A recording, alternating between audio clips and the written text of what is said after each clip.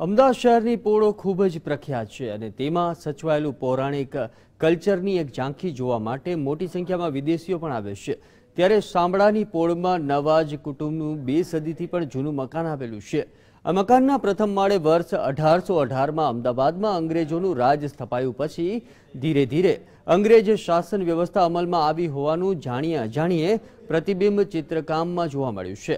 આશરે એકસો પચાસ વર્ષ પહેલાં બનેલા આ ભીત ચિત્રમાં અંગ્રેજ સાર્જન્ટ, સૈનિકો, લશ્કરી કવાયત વગેરે જોવા મળે છે. પરંતુ દુઃખની વાત તો એ છે કે આ ચિત્ર અંગેની અજ્ઞાનતાના કારણે તે જળવાઈ શક્યું નથી. આ ચિત્ર ત્રીસ પાંત્રીસ વર્ષ પહેલાંનું જોયેલું છે.